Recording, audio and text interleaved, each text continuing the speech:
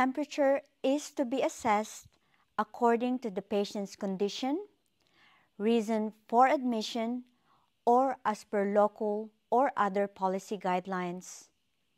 Normal adult temperature is between 36.5 degrees Celsius and 37.2 degrees Celsius.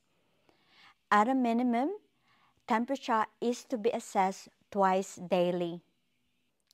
Now to check for the patient's temperature, make sure that you'll be turning on your thermometer machine and put the probe cover onto your thermometer machine. Then instruct the patient what you're about to do and make sure that there's not going to be any issues on her ear.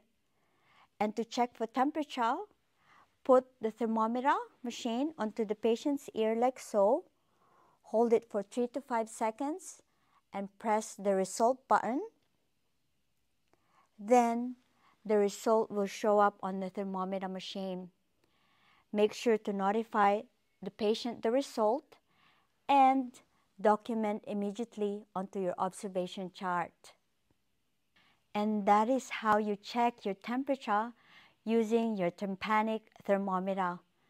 To learn more about your OSCE, make sure to subscribe and enroll now at AURN Pathway.